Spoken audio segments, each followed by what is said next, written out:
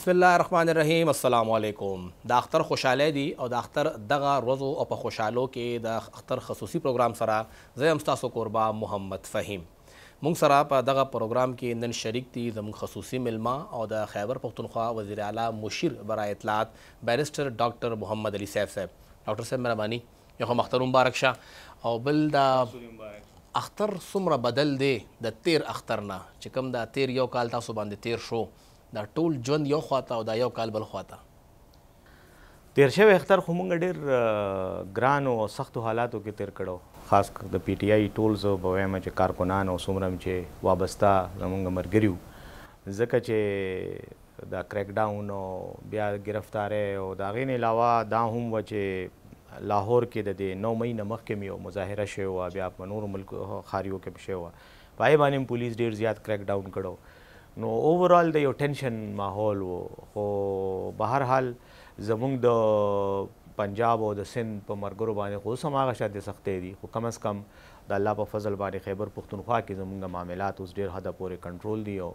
ښه دي او د خوشحالۍ نو هغه شانتې که وګورو نو یقینا دا اختر د تیر شوي اختر نه زموږ دپاره ښه اختر دی. او چې کوم دا یو کال مینځ کې تیر شو چاته دا ذهن کې وه چې دوباره به الیکشن کیږي او الیکشن به کیږي مو کنه دا هم یو انسرټینټي وه او بیا به دوباره پي ټي آی راځي حکومت به جوړي زیات طاقت سره به راځي. هغه دغه خبره چې زړه کې مو یقین خو وو چې که هر کله الیکشن وشو که الیکشن وشو دا به یو سوال یقینا وو او دا به پرایویټ محفلونو کې به هم چې ناست وو نو هر چا به هم دا تپوس کو چې یاره الیکشن به کیږي او کنه او مونږ به هم پې شک کې وو یقینا ځکه چې کومو خلکو دا فیصله به کوله هغه ډېر طاقتور هم وو، ډېر غوسه کې هم وو، خو زمونږ دا یقین کم از کم په الله باندې وو چې که الیکشن وشو نو ان شاء الله مونږ به پکې به ډېر ښه طریقه باندې کامیابېږو. دا به د عمران خان صاحب هم ډېر سټرانګ موقف وو، هغه سره به چې کله هم خبره کېده نو هغه به هم دا ویل چې بس الیکشن هونې دو تو ان کو پته چل جائې ګا، دا چې کوم زمونږ مخالف دي او مونږ هم بیا یقین وو چې نه د خلکو سینټیمنټس او جذبات او مینه مونږ سره شته نو الیکشن چې وشو کله یقینا زموږ د توقع مطابق خو خلکو خو موږ له ووټ راکړ خو چا چې نه غوښتل نو هغوی اوس هم کوشش کوي کله فارم فورټي سیون په نتیجه کې دا ډرامه باز په موږ کېنوللو چا چې دی نو اوس هم لګیا دي دا د ری کاونټینګ په بانه باندې هم زموږ نه سیټونه اخیستو کوشش کوي خو موږ مطمئن یو چې د پاکستان ولس پی ټي آی سره ولاړ دی چې کله دا مشکل وخت راغی نو ټیک ده سړی په خپله په ځان باندې مشکل اغستي شي خو دې بچو باندې بیا انسان لږ ډیر زیات دردیږي او لږ غونته یره هم راشي چې دوی به اوس څنګه وخت تیروي کلم په ړه کې راغی چې سټینډ زه اخلم لګیا یم یو سخت موقف زه اخلم دا بچي به مې څه کوي د کور زنانه به څه کوي مشکل صورتحال د هغوی لپاره مو یقینا فهیم خان ګوره دا خو یو نیچرل خبره ده چې ستا د ژوند هغه ریګولر روټین ډیسټرب شي فیملی لایف دې ډیسټرب شي خپل لایف د انسان ګډوډي غیر یقیني صورتحالي تا سره خو به زه ریګولر په رابطه کې وم تاسو ته خو پته ده او هغه وخت کې بس یو قسم مفرورتیا و انډرګراوند و د موبایل نم سیمونه اوښکي و چې ټریس نه شو او دغه شانته او بل زما خو یو بل ټینشن دا مو په لکه چې کم به زما معامله کې لګا دغه زیاتوله انټنسټي د غوسې یا د دغه ادا و چې زه د خیبر پښتونخوا سیکټري اطلاعات هم وم د پارټۍ نو نور چا که به سوي وکنه زما خو ذمہ داری و چې ما به بیان ورکاو او خاص کر د دا پاکستان سو تحریک انصاف هغه څه دی کوم یو ګروپ یې چې جوړ کړی و پارلیمنټرین نو د هغې خلاف خو ما بیان هم ورکړ او بیا به د دې نورو خلاف هم یقینا راتلم نو هغه بیان به چې کله په میډیا کې هایلایټ شو نو بیا به د غوسې لیول زما حوالې سره زیات هم شو خو به هر حال ګور یو سړی چې یو ځل چې ته کمټمنټ وکړې یو فیصله وکړې نو بیا زما په خیال تقاضم د پښتو هم دا ده او زمونږ دین هم مونږ ته دا وایي چې یو شی صحیح ګڼې او حق ګڼې نو بیا پې سټینډ اله نو سټینډ هم واغسته زما د پاره خو یقینا زه به درته دا هم وایم زما خو خیر فیملي لږه ټرین شوې ده ما سره بچي هم راسره ټرینډ دي نو هغه دومره دغه نه وو خو د مور پلار حوالې سره یقینا په سړي دا ټینشن ضرور وي چې لکه هغه به لږ سټریس وو بعض اوقات به اظهار کو بعض اوقات به نه کو ځکه رابطه خو به داسې ډېره ما ریګولر نه ساتله خو دا و چې لکه هغه ټینشن و نو یقینا دا دا فیکټرز خو وي خو زما به زیات فکر د هغه خپلو مرګرو د چا چې په کورونو چاپې والې بیا د چا د کورونو نه چې زنانه اوچتې کړې وي جیلونو ته وړې او حالات ته وړې وي بیزته یې کړې وي پنجاب کې خاص کر په هغه باندې به مو یقینا چې دی نو تک لکه د تکلیف احساس پر راته زیات او چې هغه باندې به څه تیریږي زه ذاتي طور باندې که وګڼې نو زه به دا ووایم چې زه په خپله لږ داسې ویټرن یم، لږ بیټل هارډنډ یم دې معاملو کې ځکه چې د ځوانۍ نه د سټوډنټ لایف نه مو پولیټیکل اکټیویټیز او دا ګرفتارۍ او جیلونه او دا ځونه تېر کړي دي نو لږ داسې ډېر داسې زما لپاره دومره هم سټرس نه و خو د خپل فیملي او د نږدې چې کوم بلکې چا سره به چې پټ وو د چا ځایونو کې به چې پټو نو په هغوی باندې به هم ټینشن کې و چې یاره چېرته سبا که فرض وکړه موږ پسې رالل نو چاپی وواله نو بیا به راسره دیم خرابېږي نو دا مسایل خو وو یقینا خو بهرحال تاسو ذکر وکړو چې تاسو خپل ژوند چې کوم بالکل ارلی لایف و هغه هم یو ډېر مشکل حالاتو کې تېر کړی دی جهاد ورته ووایه یا ازادۍ او جنګ ورته ووایه چې څه هم ورته ووایه هغې کې او دې اتو نهو میاشتو کې څه فرق دی خیر دا کمپیریزن خو به ځکه ګڼم چې لکه ډیر دغه غونته کمپیریزن دی ځکه چې هغه لایف بل شانته لایف وو لکه سټوډنټ لایف کې پالیټکس لګ دا وی چې ته یوازې فیملی دی نه خزه بچی دی نه کنه او لګ سړی لګ داسې لګ لاوبالي غونته فطرت می نو خیر زموږ په وخت کې د سټوډنټ پالیټکس کې لګ دغه زیاتو جارحیت زیاتو لګ دغه تصادم کیفیت زیاتو ځکه چې هغه وخت کې زه زه چې کله د سټوډنټ لایف خبره کوم زه دا میډ ایټیز خبره کوم هغه وخت کې زه ما سبق وی سټوډنټو مدلته پاکستان کې او دا غي وخت کې دا و چې پاکستان کې پولرایزیشن هم په دې سیاسي پارټو کې سټوډنټس پالیټکس کې ډیر زیات وو یو طرف ته دا نېشنلست او دا دغه پارټي وی لکه سیکولر پارټي وی او بل طرف ته د اسلامیست پارټي وی هغه زما اسلامي جمعیت البصر تعلق او اسلامیست پارټي و او زمونږ دا ټنشن د دغه په وجه ډیر زیات شوی وو دا سوویت انویژن چې د افغانستان چې شو هغه په وجه پاکستان کې هم دا یو دغه زیات وو غصه نفرت اختلاف نو زمونږ په وخت کې خو بلکې که د هغه وخت سیاست وګورې نو د یونیورسټو سیاست داسې و لکه میدان جنګ کې چې اوسې لکه هر وخت به یو جګړې به وي او ایون پېښور یونیورسټۍ کې هم څه سټوډنټان دلته مردان کې پېښور کې زما په دور تعلیم کې هم لکه دې ګاټ کلډ لکه مړه شو جګړو کې نو ډیر داسې دغه غونتې صورتحال و خو بهرحال هغه هم سروایو کا کې یو ډیر ښه اکټیو رول و زما نو دا د پولیس دا کیسونه او دا جیلونه میلونه دا به راباندې تېرېدل ډي خان جیل او پنډی جیل او بیا دغه شانتې دا پېښور جیل دلته کوم خپل هغه دغه کورسونه مې کړي دي کورس مې تېر کړی دا بله خبره چې تاسو کوم وکړه جهادي نو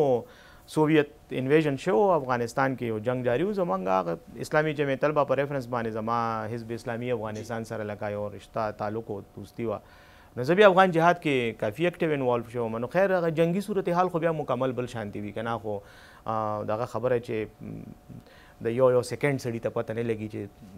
دوه منټه پس به زه ژوندی هم يم او که نه. په سر باندې ورتېري که نه. هر څه به څه او که نه هغه خو ديټ ايز ا کمپليټلي هغه ستا بلکې يو بل شی وي هغې کې بيا ستا دا ماينډ سيټ هغه ستا ټول سايکولوجيکل پروفايل داسې چينج شي چې تاته بيا دا يي ډونټ هغه موږ په لايف کې که دې خيال کړي نو ايون چې يو بل سره خبرې هم کوو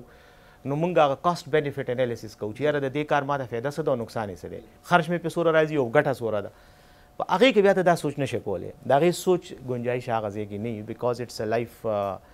دغه سیچویشن چې ایګزیسټنشل یو تھریټ وي تا ته که نه اني ټایم یو کین بي وایپډ اوټ او د افغانستان جنګ ګران جنګ و موږ طرف نه خو ګوریله جنګ و خو دا و چې مقابله چا سره وه نو هغه ډېر زیاته پاورفل آرمي وه ډېر سخت هغه او داغه نه با ټریننګ هلته شوی ولکه څه مسله نه و دی خو دا بعد کې چې کوم څه شوی خو باقي پی ټی هو تیار نه وکنه نه پی ټی آی خو یقینا تیار نه و د پی ټی آی صورتحال خو بیا یو پولیټیکل دغه وکړه دا خو یو ټوټلی ډیفرنٹ لکه یو سټریس چې کوم یو کس باندې وی چې کم حالاتو تاسو غر سره تیر شوی وای تاسو د مرګ نه الډی خبره تیره کړی وه چې مرګ یا دا جیل یا دا اخوا دیخوا سختۍ دا یقینا دا داسې څه ډیرې ماته نه میټر کولې خو دا وه چې لکه یقینا سړی د خپل کیریر متعلق د نورو څیزونو او بل دا یي کنه یو شی بل هم دی تاته دا پته نه لګي چې د دې موجوده ورځ چې کوم حالات دي د دې به ستا په سبا باندې په مستقبل به څه اثرات پریوځي نو هغه یو غیر یقیني کیفیت چې وي هغه لږ تا دغه ساتي خو دا يقين او دا دغه په الله باندې اعتماد او دا خبرې دا زما په خيال زموږ د ايمان حصه هم په دې وجه باندې زيات دغه کوي که نه الله له طرف نه مې انسټرکشن او بيا د صبر انسټرکشنز ډېر زيات دي هم دي زار د دغه که نه هغه ريکوايرمنټس چې کوم تا په دې سخت چیلنجنګ ټايمز کې سروایو کولو ته دغه کوي نو بس خو وخت تیر شه بس هغه خو ځواني وه سړی بیا سمو کې وي ټیک ده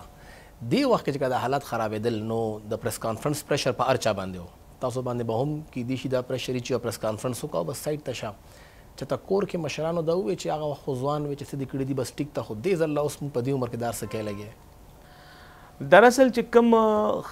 تا سره مشران یا ستا فیملی ممبرز یا دوستان یا رونو خويندې چې کوم د دغه نه خبري کنه ستا د نیچر نه یا ستا د فطرت نه د خو د سره ټول عمر تیری نو هغه دن دې ډونټ بادر ویډیو یا بس د خپل کار دې چې سب سګړیا بکې خو دوستانو طرف نه به یقینا داسې ډېرو خلکو به راته ویل چې یاره ته څه کوې او دا ولې کوې او بل دا وه چې د پي ټي آی خاص کر باره کې دا یو تاثر و جنرال چې دا خو داسې دا برګر فیملیز او ممی ډیډي ټایپ دي او دی خو به ډېر زر اخوا دېخوا شي خو لکه دا دا ایکسپیکټیشنز یې نه نو ښه وه هغه الله کرم وکړ ډېر مرګري زموږ سلیپ هم شو پریس کانفرنس یې هم وکړې د پریس کانفرنس حوالې سره زه تاسو وایم چې دا کله دلته د پی ټی آی نه دا کسان مرګ ماتېدل او هغه شادیال کې چې پریس کانفرنس و دغه ای د پاره ماته ډېر زیات پرشر و چې ته تم دې کې راشه ته هم پکې کېنې نو هغه ما ورته داسې پولایټلی ریګریټ کړه نو د هغه بیا لکه نتایج یقینا زما د پاره ډیر ښه نه وو او بیا زما دغه دا وه چې څنګه هلته کې پرویز خټک صاحب پریس کانفرنس وکړو نو ورپسې ما خپل بیان جاري کړو او ښه سخت بیان وو الفاظ هم سخت وو نو هغه میډیا کې خو بیا تاسو ته پته ده چې میډیا والا خو بیا روانې خو کوی کنه هغه به دا و چې هلته به د پرویز خټک بیان و دلته به ورسره زما پیرل به زما بیان وچلاو نو زموږ ملګري هم پې خپه وو بیا چې یاره دا ته ولې دا کار وکړه تا دا خو پرویز خټک هم بیا لږ دغه پرسنلي ما ما اوریدلی دی اوس آی ډونټ نو چې داسې به کړي یا نه خو ما دا اوریدلی چې کوشش وکاو چې یاره د ته ولې څه نه وایې که نه دا ولې نه دباوې نو بهرحال زه ښه وه بس تیر شو نو دا رښتیا وه تاسو چا سوې او که نه نو ځکه خو پټ وم پټ په دیو مچ مرګري دوستان خو ارزه کې سړي وینو چې راته ویل بس اخو دې خو ځان انډرګراوند کا نو بیا انډرګراوند زما پسې لکه معلومات به کول زما کلي کې کور ته ورغلي وو هلته کې پولیس تللی وو هغوی معلومات کول خو هغه هغه معلومات د کلي کور یې ځکه کوو چې زما په شناختي کارډ کې پرمننټ اډرس د شنا د کلي دی د کلي دی نو هغه د نادره د ډیټا نه چې ته روباسې نه کې خو کله راځي نو دوی هلته بیا ورغلي وو اسلام آباد کور ته هم زما راغلي وو د اسلام آباد کور ته خو باقاعده راغلي وو زما هغه کور هغه کسانو ته هم ویلي وو چې چېرته دی او کله راځي او څه نو لکه هغه خپل معلومات او ایفرټس یې کول به هر حال دا وه چې زما د پاره پرابلم به دا و چې زه به په میډیا کې چونکې راتلم بیانونه به مې ورکولل نو د هغې په وجه به زما هغه پریزنس یا زما هغه دغه به شکل به له دوی نه هېرېده نه هر وخت به دوی ته مخامخ بار بار مخې ته راته نو دې به لږ هغه انټنسټي زیاتوله خو نور بس ښه وه یاره وشو څومره وخت هم د ماشومانو لرې تېر کړی دی د دغه نه واله د دا ګڼمه د جون نه جون کې لکه شی بیا سخت شه راپسې کنه نو جون نه واله تر اکتوبر پورې د ماشومان سره ملاقات نه نه نه چا سره نه پټو ربم کېده او کم بچي هم ډیر یادې ده چې بس نور هو ټیک ته خدای او بچي نو بس بچي خو یادېږي ټول تقریبا یکسانیت سره یادېږي چې کوم واړی هغه زیات یادېږي خدا دې چې لکه فون باندې په سکایپ مایپ باندې په دې سيزونو به مرابطې کول انټرنیټ خدا زموږ دا دور ډېر ښه دور دی اوس خو سم اوخ کې او زما یو کې یو سیم هغه به مې استعمالو هغه باندې به مې نت استعمالو تاسو سره هم چې دا میسجینګ کوم هغه به هم کو نو دغه لکه اټ واز دغه او بچیم تنگ شوی او هغه هم تنگ کړی او کنه صرف تاسو ته کور ته راغلی کور ته راغلی کور ته دوزله اسلام آباد ته او یو ځل کلی کور ته د کلی کور خو خیر خبر وو اخوا سي هغه یو فرمیلیټی پوره کول اسلام اباد کې چونکه زما زما په شان ادیکارډ اډریس یې دادو وي حالانکه زما. د ماشومانو پریشر به نه و چې بابا دا وګوره کور ته راغلي دي او ته څه کې لګیا یې. ما سره ټرینډ دي لکه دغه دي. ماشومان هم بس ماشومان هم چې بس کلک ولاړ اوسه. او او او د هغه هغه سایډ نه ماته داسې فیملی سایډ نه ماته داسې څه ډیر پریشر نه وو. دغه چې کوم اته نهه میاشتې تیرې شوې تاسو ګڼئ چې ستاسو ژوند یو ری برت وشو او که نه بس سیستم روان و دا پکې یو بل چانس راغی بس دا مې ایکسپیرینس و. فهیم خان بس زه به دا ووایم چې زه خو لکه چونکه مخکې نه لږ داسې لږ ډېر زه ګڼم چې داسې د دې معاملو نه تېر شوی یم که نه لکه په مختلف دغه کې نو سایکولوژیکلي چې ته یو شي ته تیار یې ذهني طور باندې نفسیاتي طور باندې نو بیا یې دومره لیول دغه نه وي سټرس دومره نه وي پرېشاني ضرور وي خو هر چاته وي چې لږ هم لایف کې ابنارمالټي راشي نو چې بجلي لاړه شي نو موږ لږ ډسټرب شو خو دا ده چې دومره زیات دغه نو زموږ څه ملګري ډېر ډسټرب وو ځکه چې دوی لپاره دا اول ځل و اول داسې کریک ډاون پې شوی یا پرېشر کې وو چلېدو خو بهرحال دا و چې لکه یو لایف پیټرن دې ډسټرب شي یو وخت خو داسې هم راغلی و د اګست کې به زه دغه و چې موږ دا کوشش هم ما سوچ کوم چې یار بس لاړ شو چرته بار کنه ملک نه بار لاړ شم ځکه چې بالکل موومنت بند شو او ګاډي مخبل نشو استعمالوله ما خپل آی ډی کارت د ځان لري کړو آی ډی کارت می داسې ځای کې ځکه د آی ډی کارت کې دا چې کم دا سمارټ کارت چې سمارټ کارت کې چپ لګیدل دا چپ نم ته لوکیټ کې دی شي نو دا ټول هم د ځانه لري کړو کریډټ کارډز بانک ای ټي ایم کارډز دا هر څه مو دغه کړو نو هغه ټایم کې بیا ما سوچ کوم یار که دا شی پرولونګ کیږي او داسې اوږدیږي نو بیا فایده نشته دلته د اوسېدو لکه چې خو صرف په یو تاخانه کې اوسېدل دي که نه نو اټ از بیټر ټو ګیټ آوټ اینډ دغه نو د ګیټ آوټ دپاره خو بیا لار هم نه وه ځکه چې هلته زما نوم هم په دغه باندې و دی داسې کار کړو چې دی دوه لیسټونه جوړ کړو یو خو ای سی ایل و جی سر ای باندې خو پراپرلی ډاکومنټډ چې کوم کسانو دا ای لیسټ کابینټ دا اپروول ورکوي هغه به اسانه ده نیچرلی او که بیا د هغې نه ځان لرې کړي بیا به کورټ ته ځې کورټ ارډر به رالې یا د هغې لپاره د فیډرل ګورنمنټ یو کمیټي ده هغه به دې بیا لرې کوي یا اچوي به دې او یو دی و نو فلای لیسټ هغه دی انفارمل ساتلو داسې لیسټ و چې هغې کې دغه نه و هغه چرته په ريکارډ نه وو خو لکه ستا نوم زما نوم د چې چا چا نومونه وو هغه يې په کيښو نو بس چې هغه به دې پاسپورټ به دې ورکړ هلته په کاونټر باندې نو وې به راځه دې خوا سايډ ته شه نو ډېر کسان يې پکې نيولي وو داسې کنه نو بهر حال هغه ريسک خو ما اخيستی نه شو نو بيا مو دا سوچ کوم چې دې طرف نه داسې لاړ شو ستاسو زړه لاره چې نه زمونږ زړه لاره دا وه تاسو سر مختلف پارټو کې پاتې او ستاسو دا خصوصيت دی چې کومه پارټۍ کې يې نو د پارټۍ قايد در باندې سترګې پټې کړي او اعتماد کوي دا څه وجه ده که ایم کیو ایم وي او که مشرف صاحب شي که عمران خان صاحب شي دومره زر تاسو باندې اعتماد کور دا څه وجه کیدی شي نو دا شاید د دې یو ریزن دا کیدی شي یو خو خیر دا خو باغی ته پته چې په ما ولې اعتماد کوي خو زه به دا ویم د خپل طرف نه به زه دا ویم چې شاید دا غي یو وجه دا ده چې ما باندې چا مې اعتماد کړی دی نو ما دا غي اعتماد بحال ساتلی نه دی مات کړی. هیدآت داسی حرکت می نه دی کړی چه دهغی اعتماد ما دغه کړی چه هغه پی افسوس کړی بل دا زما یو خپل د هر انسان د خپل لایف څه پرنسپلز وی څه بیلیفس وی زما یو بیلیف دا هم دی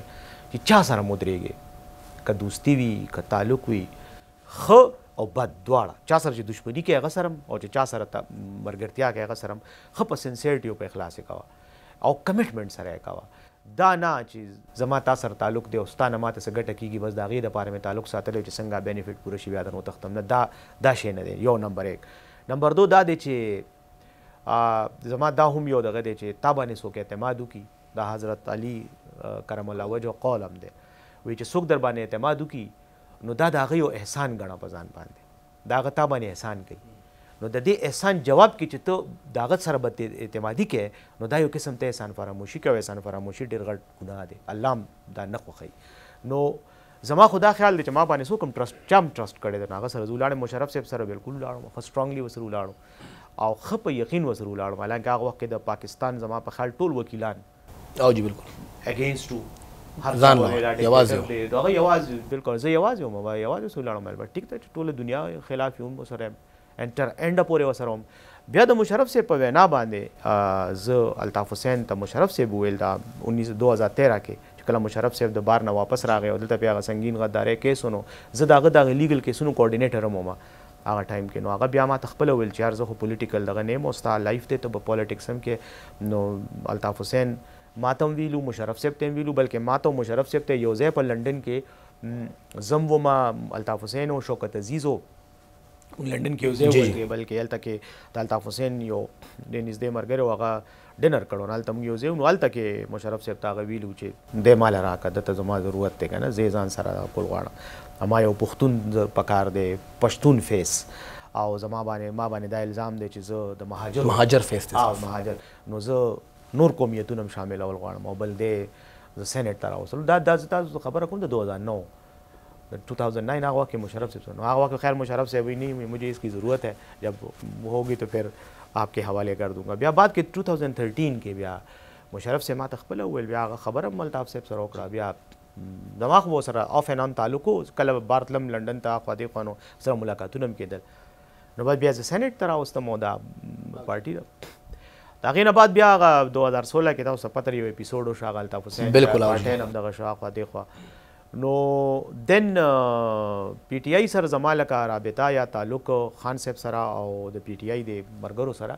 د ډير مخکې نه وه وايل آي واز ان دي سينيټ هغه ورځو نه دغه زياتو بلکې د دې نه مخکې تاسو سره به زه چرته خپل تصوير هم شير کم چې کله خان صاحب په 1994 کې د شوکت خان هم د پاره هغه فنډ ريزنګ کمپين کو نه ولا مونږ اورګنايز کړو زه هغه وخت کې د پاسبان تنظيم او داغه زه صوبایي صدر وم نو هغه ټول هغه کمپين د صدر بازار کې هغه میډیا ښه کور کړو هغه موږ سره هغه د غمشته لکه تعلق خو سره د مخ کې نو خو بس بیا وسره خان صاحب هم راته یو قسم پارټۍ والا طرف نه ډیر آفرز چې پی ټی آی او زما د پاره چې زه د دې علاقې ما دلته پی ټی آی یو مضبوطه پارټي ده د غم ده نظریاتي طور باندې هم لګ انقلابي غونډې نظریات دي نو زمنګ لګ غ ټلټم داسې لګ دې طرف ته نو بس مې ټیک ده لیټس ګو دیر دغه درې مشرانو کې الطاف حسین عمران خان او مشرف صاحب مشترکات تاسو څخه ښکاری او دوی کې مختلف څه دي ګوره مشرف صیب خو یو ډیر زه به دا ووایم چې بطور انسان ډیر ښه سړی و ډیر سنسیر سړی و او هغه هم د ړنه ډیر صفا سړی و که خوښ به وي نو بیا به خوښ وي او که نه به لګیده در سره نو بیا به سره نه صفا خبره وکړه صفا خبره او عموما به دا دا دا یو کمزوري مو چې سیاسي نه و نو څه به چې په زړه وه به په خوله نو هغې کې به ډېرې خبرې داسې مو کړې چې د هغې نه بیا خلکو نګیټیو یا ناجایزه فایده به هم ترې واخیستله اعتماد به هم ډېر زیات کو زر به یې در باندې اعتماد وکړو نو مشرف صاحب خو زه خو یې اوس هم ریسپیکټ کوم او همیشه دوام ورته کوم چې خدای دې هغه جهنم ښه کړي او څه مغفرت دې ورله وکړي. پاتې شو بلکې زه ورته خپل محسن هم وایم، زما محسن هم دی، زه بالکل دې کې چېرې ما په دې کې د شرم دغه نه دی کړی، دا وایم چې بالکل هی از مای دغه بینیفیکټر او ما سره یې ډېر ښه نیک احسانونه یې راباندې کړي. دویمه پاتې شوه دغه الطاف حسین. الطاف حسین یو ډیر د خپلې نظریې سره یا خپل چې سم د هغه کمېشن دی سره ډیر کمېټډ کس دی او بله دویمه خبره دا ده چې هغه کې هم دا څیز دی چې اعتماد در باندې وکړي نو بیا در باندې فل اعتماد کوي او الطاف حسین کې هم څه دغه دی یو خو دغه اوس دې ایج کې هغه کې لږ جذباتیت راغلی دی هغه جذباتیت په وجه باندې بعض اوقات داسې فیصلې یا داسې دغه ته وشي خبرې ته وشي چې دا هغه ته پولیټیکل نقصان وشو کني زه دا غړم ما خو پکې دغه کتلی ده چی زما یی خو ډیر ریسپیکټ کړی دی همیشه بلکه داسی هم به کیدله چی کله کله چی څه خبره به وه څه فیصله به وه نو چی ډیسیژن به ډیسکشنز به کیده نو زه که به نه ومه یا به لنډن کی ومه ورسره یا به دلته ومه نو ماته به باقیده فون په خپله وکو مانه به ما زه به هم کنسلټ کولم نو دا یو قسم اعتماد به یی کو زه په دهغی باندی هم دهغه مشکور یم او تاسو به دا کتلی چی د کله نه ما ایم کیو ایم کی ومه هم او ایم کیو ایم نه پس هم ډیرو خلکو دهغه خلاف پریس کانفرنس او دغه او بیانونه تاسو کله هم څه ندي ویلي. Never never او نه به ووایم چارې ځکه چې ما ما سره یې ښه کړي دي ولې ورپسې بد ووایم نور د هغه سره سیاسي اختلاف د خلکو وي سیاسي اختلاف خو زموږ ډېرو خلکو سره کېدی شي دغه وي عمران خان صاحب کې دا دی چې عمران خان ډېر فوکسډ ډېر زیات فوکسډ او ډېر کمیټډ کس دی د خپل سوچ سره چې سم دغه سوچ دی او هغه جنرالي چې کومې خبرې کوي نو ما دا شی پکې نوټ کړی چې هغه سیاسي منافقت نه کوي سې چې زړه کې وي او کم سوچ دی یا د پاکستان د سیاسي حالاتو باندې کم دغه دی کوم نظر دی هغه غلط کیدی شی خو هغه دروغ نشی کیدی د هغه پی مطلب دا دی کمیټی ډی هغه هغه دا منی چی دا زه چه څه ویم نو دا داسی دی نو دا خبره ده بل دا دی چی بیا به زه دا ووایم اینډ کی چی زما چی کوم حده پوری تعلق دی نو ماله خو همیشه ډیر ریسپیکټ راکړی زما خبره یی ډیر په غور اوریدلی ده ماله ټایم راکوی اوس هم زه چې کله هم ما ورسره څه خبره کړې ده نو الله ګواه دی چې همېشه يې اورېدلې هم ده، وزن يې هم ورکړی دی. منل يا نه منل د هغه خپله خبره ده، مني يا نه مني هغه خو ظاهره ده ليډر دی د پارټۍ د هغه خپل يو دغه دی خو ما خو ته خو يې ډېر ريسپېکټ راکړی دی او ډېر عزت يې راکړی دی او اعتماد يې راباندې کړی دی نو چې اعتماد يې راباندې کړی دی نو زما به اټ موست کوشش دا وي چې مړ به شم خو د هغه اعتماد به زه دغه نه کم مات نکړو. صحیح پس دمه اخلو او دمه نه پس بیا راځو نو بیا به لږې نورې خبرې هم کوو د بیرسټر سیف صاحب د ژوند حوالې سره او تر اوسه پورې چې کوم سفر دی هغې حوالې سره مشرک سره اوسئ.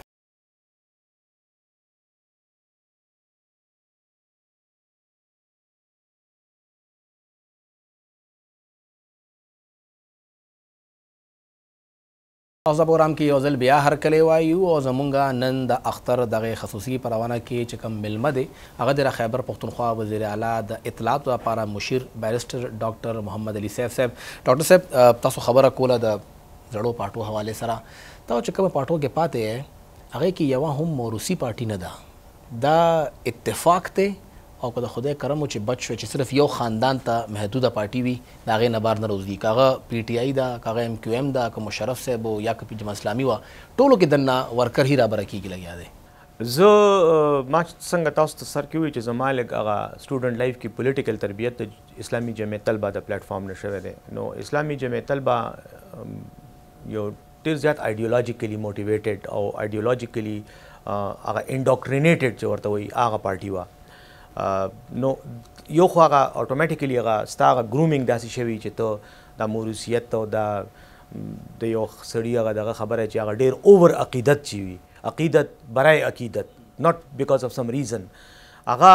دا خو چاري زمونږ هغه دغه کې مایند کې نه راځي یو بل دا هیرو ورشپ چې ورته وایي دا هم زما مطلب هغه د جمعیت هغه تربیت داسې دی چې ټیک د هر انسان کې کمزورې مې هر انسان کې خوبې مې خوبو خیال ساته خو کمزوري نظر کې ساته خو دا هیرو ورشه په کانسپټ هم زمان نه نه دی پاتې شوی نو زه دا غړم چې یو خو جماعت اسلامي نه پس خو تاسو ته ما ویل چې جماعت اسلامي خو نه خیر اسلامي جمعیت طلبه او دا یي سټوډنټ وینګو هغه لږ ځکه لا فارغ شوم دلته په خوري نوستان دن آی وینټ ټو یو کې لکه یورپ ته لاړم تل بیا سبق مبک وي نو بیا خو زما هغه ډیسکنیکټ راغی دی سره نا پارټي نه و پولیټیکل اکټیویټي کې نوم بیا چې کله زه پاکستان ته واپس رالم نو تاسو ته پته به وي دلته پېښور کې پاسبان یو تنظیم خو پاسبان بیا چې کله زه پاسبان کې هم نه هغه ټایم کې پاسبان د جماعت اسلامي نه بیل شو او موږ بیا یو انډیپندنت تنظیم په شکل کې وو نو هغه سیز موږ چلاو مشرف سے په 2005 کې کتا اوس ته یادینو ازلزله راغلی و ډیره زیاته نو د نیریاس کې هغه ورځو کی ما خپل کار کو پریکټس به می کو او زه کنسلټنسیز به می کول ما زه هغه وخت کی ایشین ډیولپمنټ بانک سره او یو ایس ډیپارټمنټ اف جسټس دی سر زما لکه لیګل دغه او کار به می کو او زه ډیر بیزی وم خپل کار کی لکه نور دغه نو خو زمونږ زاړه سیاسی دوستان و هغه ټایم کی زه چې کله زلزله رااله نو پریزیډنټ مشرف صاحب یو بریفنګ کال کړو هغه کې هغه ویل چې دې زلزله کې دا کوم دا رضاکار دي دا ینګ هلکان جینکې سټوډنټان ډیر زیات راغلي وو هلته کې د ولنټیرز په طور نو هغه کې یو کانسپټ مونږ داسې ډیولپ کو بیا مو مشرف صاحب ته پریزنټیشن وکړ نو هغه پریزنټیشن کې مونږ دا ویل چې دا کوم دا ینګ لاټ دی کوم چې رضاکارانه تور باندې داسې قدرتي آفاتو کې یا داسې نېشنل ډیزاسترز کې رول پلی کولی شي دا مونږه اورګنایز کو او په دنیا کې په ډیرو ملکونو کې داسې سیستم شته چې هغه ټرینډ هم وي ارګنایزډ هم وي نو مشرف صاحب بیا دا ایډیا ما پریزنټیشن چونکې ما کړو نو مشرف صاحب ما ته ویل یو ټیک اوور دا به ته کوې او هغه وخت کې د منسټري اف یوت افیرز د لاندې دا شی دغه کو دا باډي جوړ کړه نېشنل والنټیر موومېنټ قومي رضاکار تحریک به ورته ویل نو زه دا غي دغه شوم لکه سرګردګي ما ته راکړه هغه شانتي زما لکه یو مشرف صاحب سره بیا پولیټیکل خلکو سره انټریکشن وو هغه ټایم کی د پاکستان مسلم لیګ کاف حکومت و خو زه په مسلم لیګ کاف کی چری نیم شامل شوی ما سچ جوائن کړی نو زه د د ان وی ایم ډپټی چیرمن ما چې او بیا هغه ډایرکټلی د پرایم منسٹر انډر و هغه ټایم کی پرایم منسٹر سیکریټریټ سره زموږ دغه نو دا چې کېده کېده دې کې دوران کې دا زما مشرف صاحب سره سم یو پرسنل تعلق جوړ شو بیا هغه یو د هغه پریزیډنټ هغه ټایم کې هغه د یو لیګل ایډوایزرز یو یو یو سیل جوړ کړ یو ټیم جوړ کړو نو آی واز ون اف دیم هغې کې به مونږ په دې مختلف ایشوز باندې هغه سره کیناستو خبرې اترې به هم کولې بل زما په دې افغانستان کې لږ انوالومنټ پاتې شوی دی نو د افغانستان هغه وخت کې د هغه ټرریزم هغه مسلې هم شروع شوې وې ناین الیون نه پس او دا ملټري اپریشنز او بیا د امریکې د طرف نه دا چې کوم مسایل وي نو په دې باندې هم د مشرف صاحب یو انفارمل ټیم و هغې کې آی واز آلسو پارټ اف دیټ نو تعلق ورسره جوړ شو بیا پکې چې د افتخار چودري هغه مسله راله هغه مومنټ آی دوه زره سات کې نو هغه کې بس بیا زه ما یو سټاند واغسته نو دا زما د پالیټکس کې لکه پریکټیکل پالیټکس زه داسې رالم نو مشرف صاحب سره بیا وم خو آی واز نیور پارت اف مسلم لیګ کاف دا د ذکر کوم د ډیرو خلکو ذهن کې دا لري زه شاید هغه سره د نوم بیا چې کله مشرف صاحب دغه شو ریزاین شو لاړ او پر صدارت پرې خو د نوم زه هغه سره هغه بیا خپله پارټی جوړه کړی وه آل پاکستان مسلم لیګ خو بهرحال زه آی واز ود هیم نو د هغه نه بعد زه بیا دغه ته رالم هغه چې کله پالیټکس پریښود او پارټی یې تقریبا دغه کړه پریښودله دین آی وینټ ټو ایم کیو ایم او اوس پی ټی آی. دا چې کوم ستاسو سفر و دې سفر کې دننه چې کوم تاسو ذکر هم وکړ یا خو تاسو جنګونه کړي دي یا هم سبق ویلی دی بیرسټر بیا ډاکټر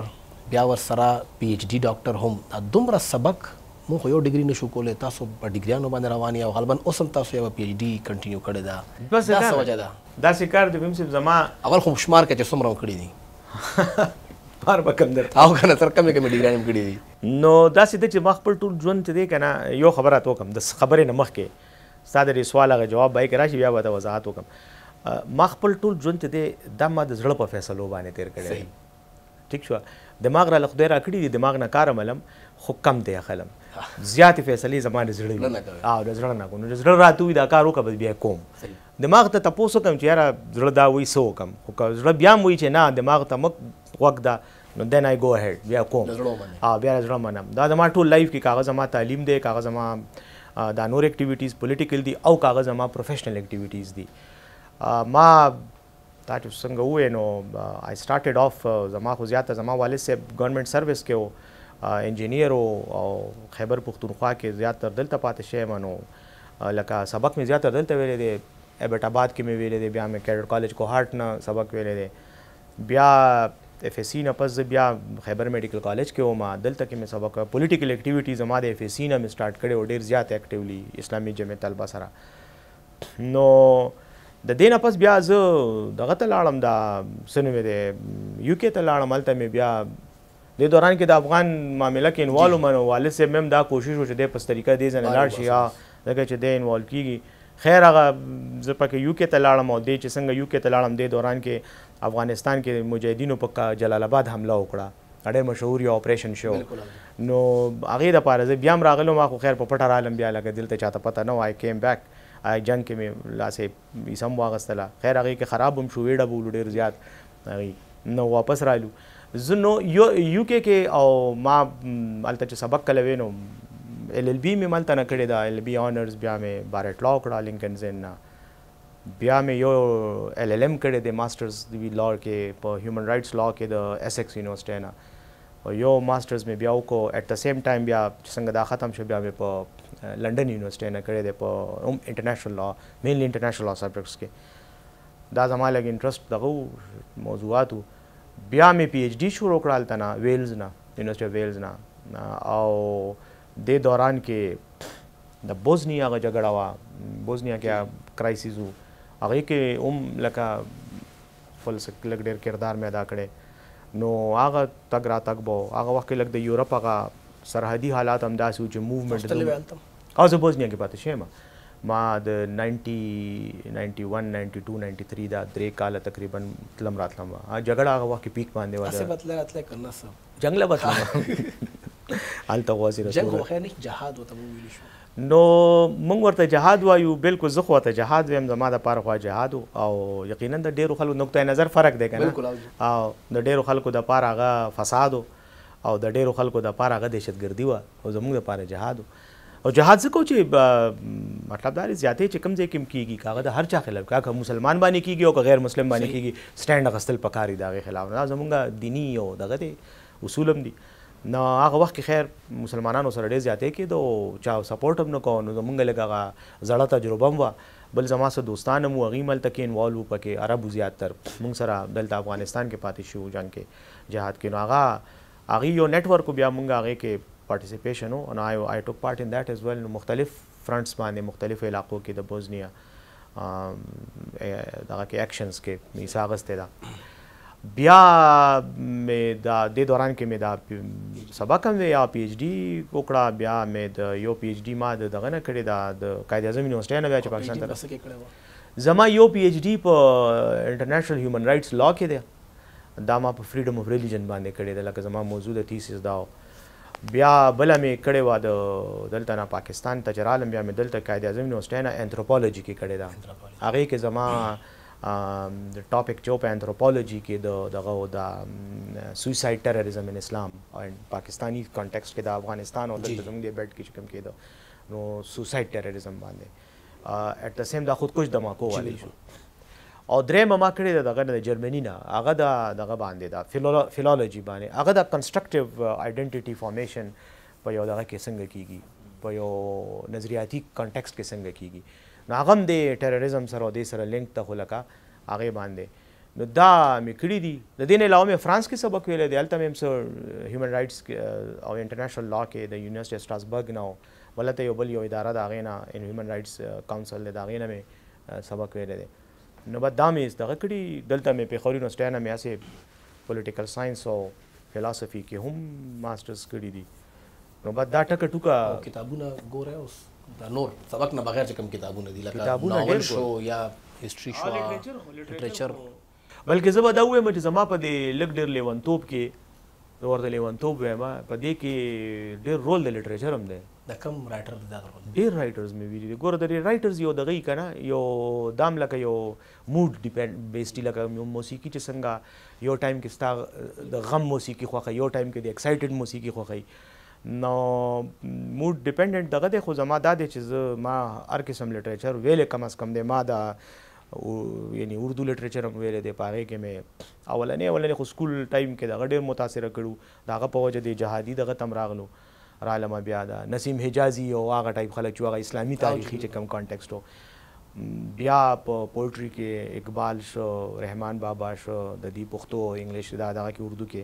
دا لږ انقلابی ټایپ شاعران فیض احمد فیض شو دغه شو دا چې کم جوش ملی آبادی ایون هغه لږ بل سایډ ته خو بهر حال وو ریولوشنری پوئټس په نثر کې اردو کې یاره ډیر دي نو بس دا دا ټایپ هم دي دا اسلامي تاریخي والا بل دا دغه دي بانو قدسیه دا اشفاق احمد دی مشتاق احمد یوسفي دی دا ټول مې فارن آثرز کې او زیات تر چې کم لټریچر ما انجوای کړی دی هغه ما رشین او سکالرز چې دي رشین آثرز لکه دغه دی دا انټون شیخوف دی دا هغه خیر ډرامټیست دی خو بهرحال دا هغه ډېر ښه کنسپچولی ډېر دغه بل ټولسټای دی وار اینډ پیس انا کرینینا ما ډېر زیات د دې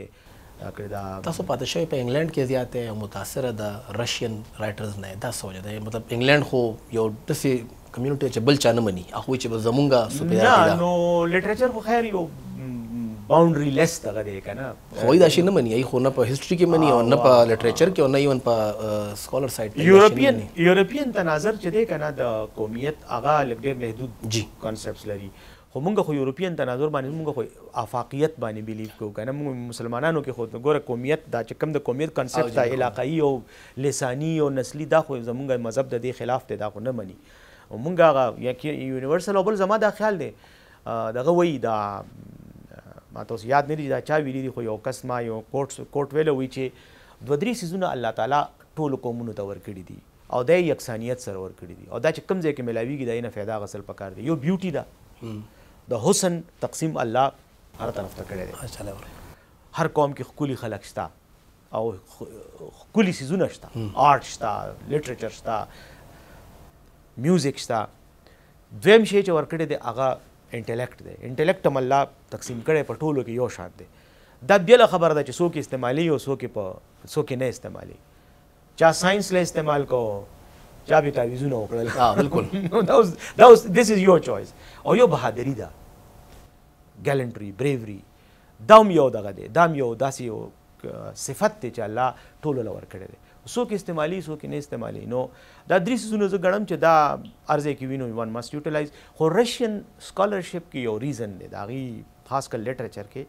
زه دا ګڼم چې زمونږ او د هغوی په کلچر کې چې کوم دا د ارلي دا لیټ ناینټین سنچري او ارلي ټوینټیت سنچري کوم ټایم وکنه دا زمونږ د انډیا پاکستان کلچر سره ډېر حده پورې لکه څه لږ ډېر میچ کوي ځکه چې د هغوی معاشره هم د یو فیوډل معاشرې نه یو دغه معاشرې ته را روانه او بل یو انقلابي جدوجهد وشو هلته کې هغه کمونیزم راغی زمونږ هم دغه شانتې نو زمونږ او د رشیا په دغه کې مای پرسنل دغه ایس ټی دی کې لګ دغه دی او بل په رشیا کې په رائټرانو کې ما یو بل شي کتلې رشین آثرز کې هغه د ایست او د ویست امتزاج دی مینس کې پراته دي دوه ځای کړی دي اه د دې زینم دغه لکه چې تکل ګورې نو تبا تا ته د لکه دغه مې ته ټولسټای مې ته بلکې بل دغه دی دا دوستویسکی آ ډیر زبردست دغه دی داغه ډیر خه ان ډیپت دغه دی انډرسټانډینګ یې دی بلکې کله کله خو چې وته وګورې نه یو یو جمله کې دومره ویزډمي بلکې دای پولیټیکل آثرز ته وګوره دا لینین ته وګوره دا هغه چې کتابونه وګوره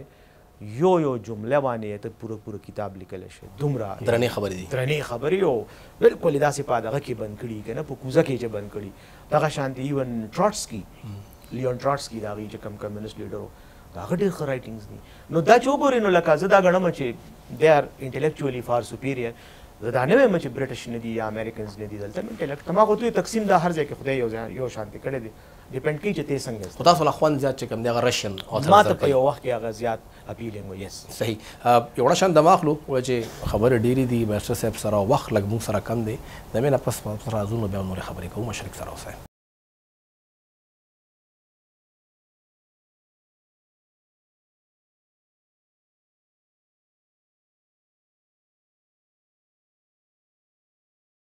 تاسو ته پروګرام کې یو ځل بیا هرکلی وایو د اختر ورځې حوالې سره زموږ خصوصي خبرونه روانه ده او موږ سره پروګرام کې شریک دي د خیبر پښتونخوا مشیر اطلاعات بیرسټر ډاکټر محمد علي سیف صاحب ډاکټر صاحب تاسو ذکر وکړ مختلف کلچر حوالې سره پوره دنیا مو کته ټولو نه ښکلی ښار تاسو ته کم یو لګی چی لاړ شی نو ړم وته بلکل تازه شی.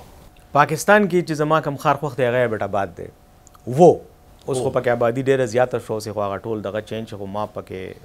سټوډنټ لایف کی پاته شیم سکول می هلته کی ویلی دی سه حده پوری نو ایبټ اباد می ډیر خوښ دی ډیر ښکلی پیس فل لایف وو په انټرنیشنل ښارونو کې که زه دا ووایم چې کوم یو ښار نو اوسلو مې زیاته خوښه ده ناروې ناروې ته تللی یو ښکلی ښار دی پیسفل ښار دی صفا دی ډېر زیات او پرسنلي آی لایک اټ ها او ځواني وي نو ظاهري خبره ټیک ته تاسو ډېر جهادي سایډ ته پاتې شوی خو دا حسن خو بیا هم انسان ځان ته راکاږي چرته انسان دی ړه چته لګېدلی وي په پاکستان کې یا بهر ملک کې چته هم لګېدلی و ړه ړه خو مو داسې زر لګي چې په ډز ډوز کې لګي دا خو ړو بالکل تپوس بیا نه کوي بیا هغې نه پس څه کوي نو بس هغې نه پس بیا خوار ګرځو نو بیا بیا صحیح لکه نادن سو پر سړه لګولي تاسو بس کاونټ کړی یو کنه 100 دا کو زما کدا زما خزي وره دل بیا بس کو نه لګې دل دي خو خبره مخ کې لاله کنه ایثار شو نوړه داسې لګې دل دي چړه او بالکل ځوانه کې په میډیکل کالج کې اړه لګې دل او بالکل او هغه اوسه پورې د دې اړه دا مصیبت چې دا در لیوزل په دې باندې زخم راشي بیا دا د غکیږي نه ټیکیږي نه بیا بیا یادېږي نو یس خیبر میډیکل کالج کې پهله زخم هلته لګوي او بیا چې دی نو بیا چې دی نو دویم چې دی نو هغه یورپ کې و بیا زیاتر یورپین و یورپ کې و یس جرمني کې او بس هغه هم یو یو جدا داستان دی هغه بیا چرته او په کیمرا باندې ډېرې خبرې ښې دي. تاسو ذکر وکړ چې دا حسن پوره دنیا کې شته کوم حسن تاسو زیات اټریک کوي لکه کوم ملک داسې حسن تاسو وایئ چې یاره دا حسن چې دی دې مقابله بل ځای کې نشته. نو اوس دې کې هم دا مسله ده چې که اوس مې ووې نو بیا به دا پاکستانۍ ښځې به راپسې بیا ما پسې مخکې هم ډېرې خبرې کړې وې یو ځل زما وایف د بهر نه ده انګریزه ده ما هلته واده کړې یو کې کې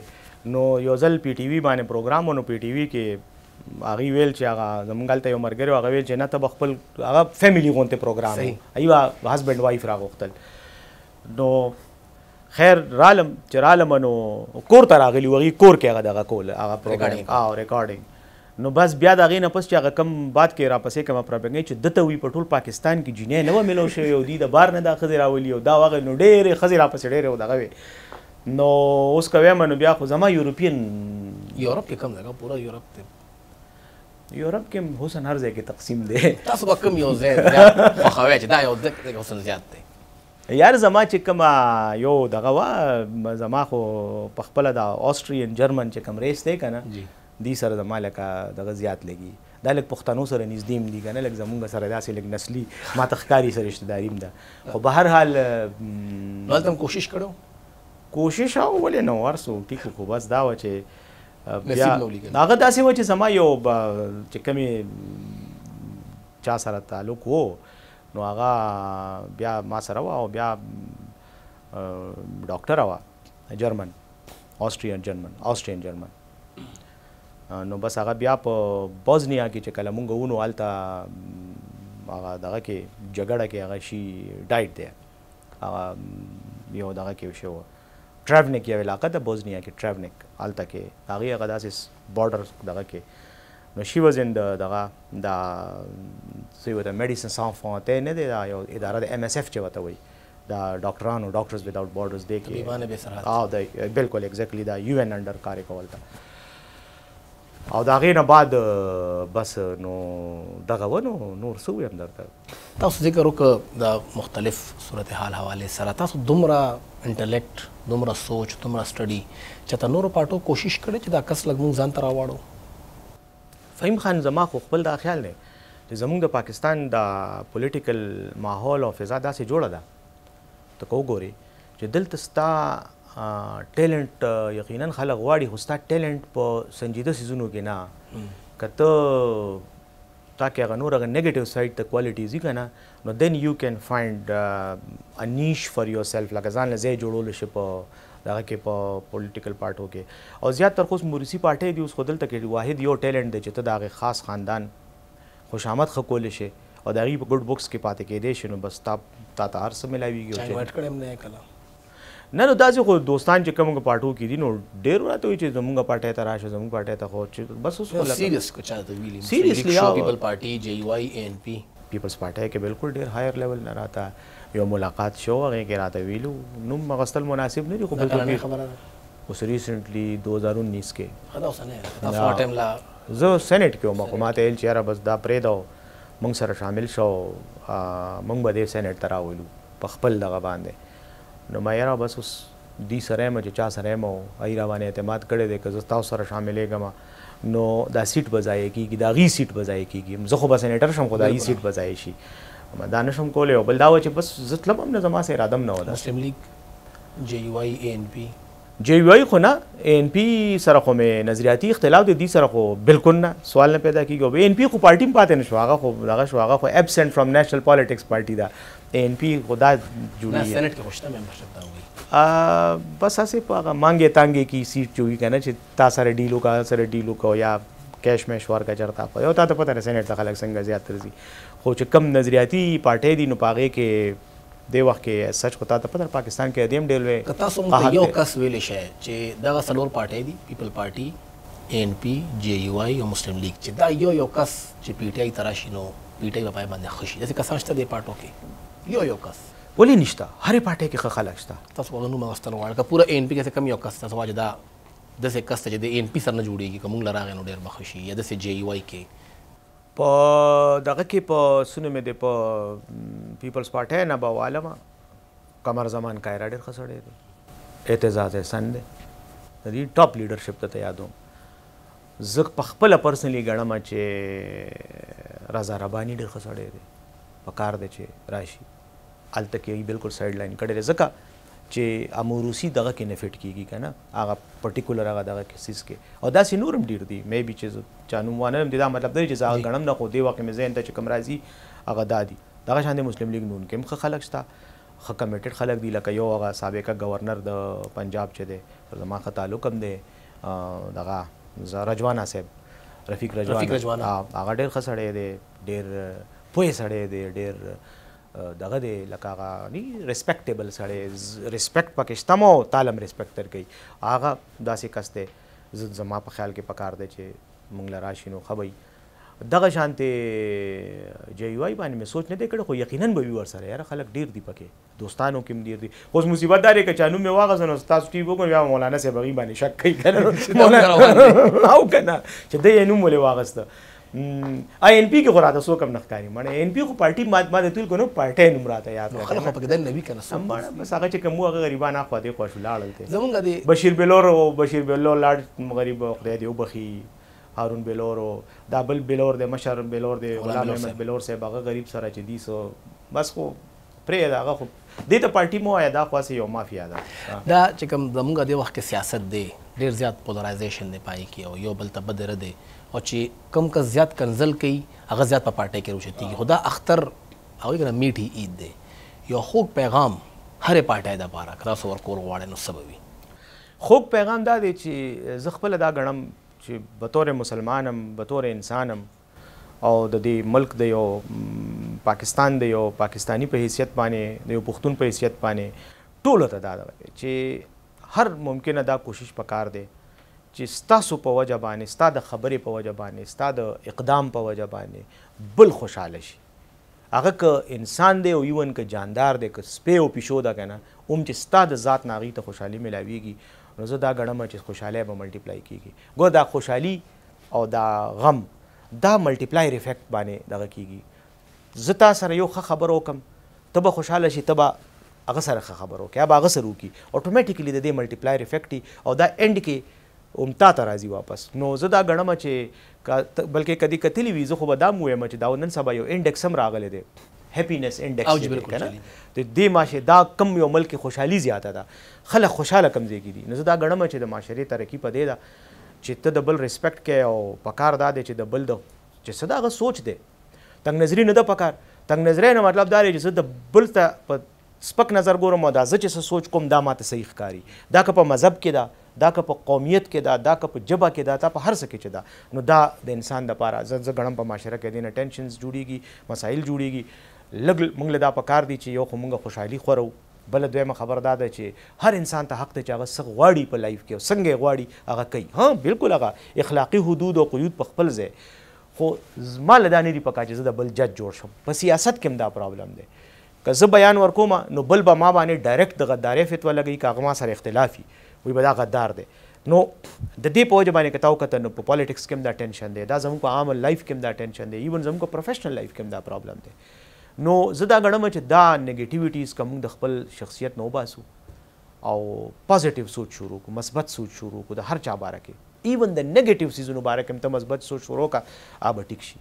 زه به درته د رسول کریم صلی الله علیه وسلم یو سمپل مثال درکړم، ټیک ده د هغه په کریکټر ته موږ نه رسو او نه موږ د هغه هغه شانتې اطاعت کولی شو څنګه چې د هغه حق دی، خو طایف ته چې لاړ،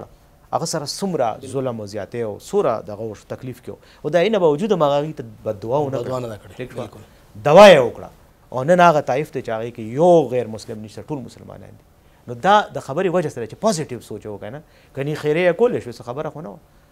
خو وې نه کړې. تاسو د نبی علیه السلام خبره وکړه پروګرام به ختموم په دې باندې چې نبی علیه السلام یو سنت دان دی چې کور کې کور والو سره وې کار مار کاو تاسو دا سنت را ژوند دی کړی دی کور کې چې تاسو کار کړی دی او کنه لکه سنت ژوند دی کول هم ډیر ثواب دی فهیم خان بده کې پاتې راځه سنت نه پاتې شوی دی زګه چې ما دا مخ کې وې چې د نبی علی السلام په ډیرو خبرو باندې مونږ توفیق نه لرو چې دې ته اځو کو نو کور کې بس کارو کو کور کې بس خدای چې زه خو یو کور کې یم ډیر کم چې چټه پر ځای انسان دی او ځای چې ته بار لاړ شي چکر لا بیا الته کور والا په کچن کې کار کوي تاسو سره کار مارو کې کچن کار کې خدا سي بس کچن کې وسره کار کوي انځي تاسو سره لوخ یوچ کې ورا کچن کې وسره بالکل کار کوم هغه چې سپاخه کینو هغه خرمه خوراک هم دم دم سب دم کار دی او دم کار دی بیا صفات مو کم چې صفات خو ضروري دی او کخې نه پخ کړي مو من نوم ورته دا وې مچا ډېر اعلی ډېر نو خبره ده چې دا شیډر خپل پخې تاسو دی د خپل لاس چې تاسو ډېر جګړه کې غوسه یې او تاسو رضا کوي نه نه ما نه رضا کوي زه چې کله غوسه یم نو هغه نوره غوسه شي راته زمونږ جنګ نور هم بیا زیات شي نه دا ده چې زه خو خوراک معامله کې زما داسې ډېر دغه نشته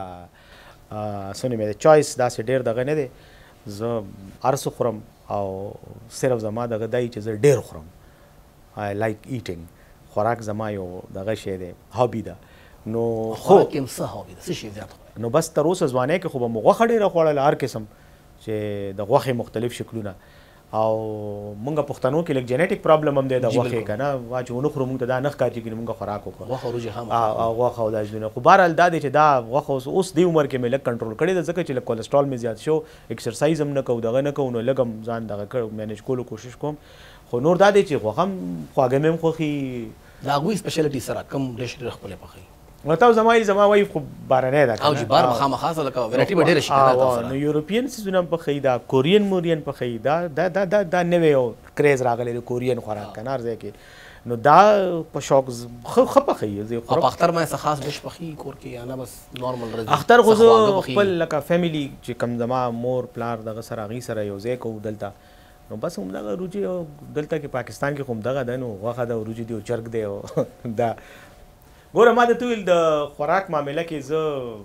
بس ډېر پیکي نه یم خو بس لکه انکار نه کوي نه چې څه ملو شي او خو خرم ډیر خوراک ډیر کوم ثانک یو سر مهرباني شکریا بیرسټر ډاکټر محمد علي صاحب صاحب کوشش مو کو چې د هغوي د ژوند هغه اړخونه کوم چې ډېرو خلکو ته نه وي پته، نن د اختر په ورځ باندې چې کوم خوا ډېره سنجیده معاشره ده، هغې کې لږ لایټ انداز کې موږ خبرې وکړو او ستاسو مخې ته څه ښه یادونه د هغوي د ژوند هم راوړو چې تاسو هم د هغې نه خوند واخلئ او موږ هم د هغې نه خوند واخلو. اجازت راکړئ، د الله په امان.